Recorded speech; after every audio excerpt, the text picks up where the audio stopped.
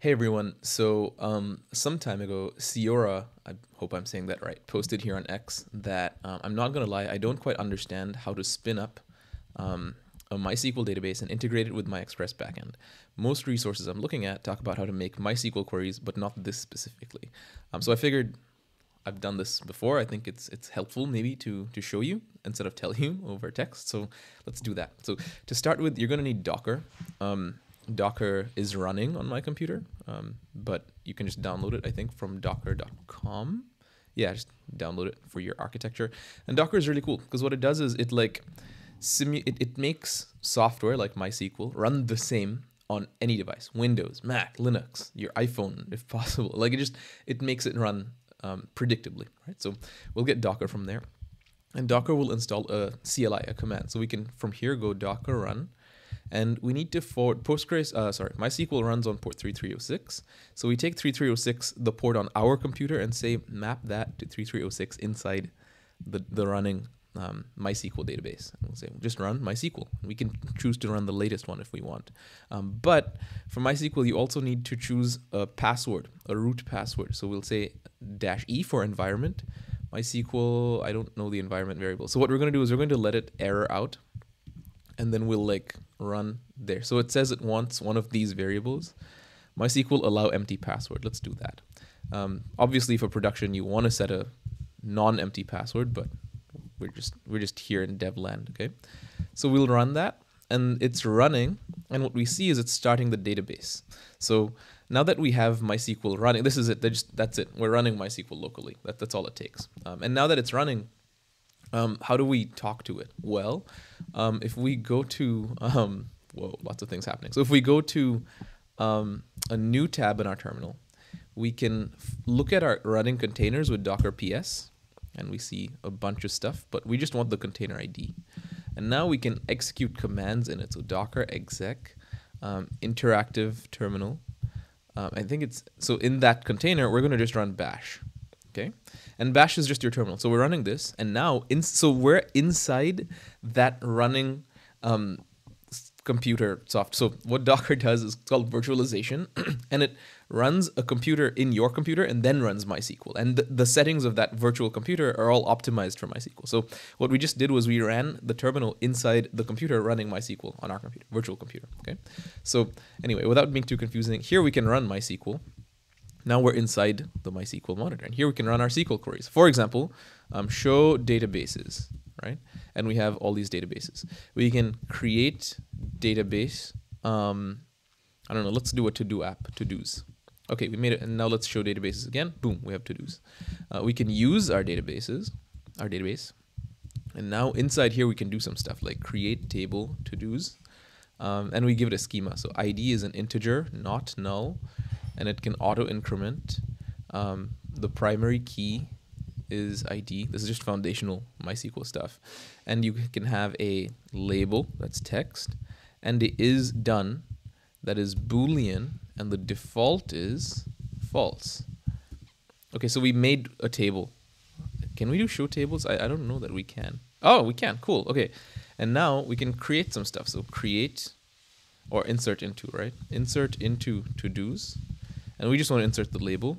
Um, and the values will be um, run MySQL locally. Cool. And we can do another one. So instead of run MySQL locally, we can say, whoa, we can say um, uh, query with Express. Done. Okay. Uh, we can also up. never mind. It's too much. So now, if we should have select star from to dos. Whoa. And we should see. There we go. So we have two to dos. Now we, we're running MySQL locally let's finish the loop by querying it with Express. For this, I, I, recommend using something like Prisma. And there's many reasons for that, but you probably shouldn't write SQL queries like in your applications like that because it's um it's it you could make a typo and then you break your database right so like there's things like prisma that will build queries for you programmatically with code and these things that build queries are covered with unit tests heavily so they never are going to break and you can just rely on them so let's use prisma for that how do we do that well um, we have our let's go to um, to our project and we'll install Prisma. And now I can do npx prisma init, init. And then um, what I can do is just follow the instructions, set the database URL and so on. So let's do that. So if we come back to our project, there's nothing there. Okay. Um, let's quit VS Code. And we will now enter the database URL. And this is this is the database URL. So we're running MySQL across the protocol. Root is the default user. You put the password here, but remember we have an allow empty password. Password localhost port 3006 slash to-dos. That's the database we just created. So that's the database URL. Okay.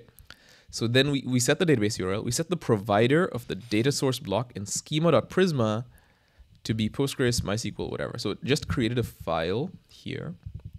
And we'll say that this is not Postgres, but it's MySQL. And the URL is that. This looks good. Okay, next. Run Prisma DB pull to turn your database schema into a Prisma schema and then generate to generate the client. Okay, cool. Let's do that npx prisma db pull. So it's going to get that database. And look, if you look here, it actually created this model for us from our database schema. And now we can generate a client. Generate. Okay. So now we can connect everything finally. So let's, I don't know, let's create a file called server.ts. And here we can just write some code, right? We'll import express from express um, app is a call to whoa is a call to express and let's listen on the default route and we'll say this is async. And before we fill in any logic let's just listen because I always forget to do that app.listen okay cool. Um, now what do we do here? How do we get data? Well we need the Prisma client. So const client is new Prisma client. Where do we get that from? Import Prisma client. We'll just import the Prisma client here. Okay, cool. And now we can query our database with it. So to-dos, to-dos is await client dot to-dos dot find many. And then we'll just like send them as JSON over the server. That's it. And so now we'll run our Express server. So Vite node, because it's TypeScript, you could just use node if it's JavaScript, server.ts. Listening on port 3000.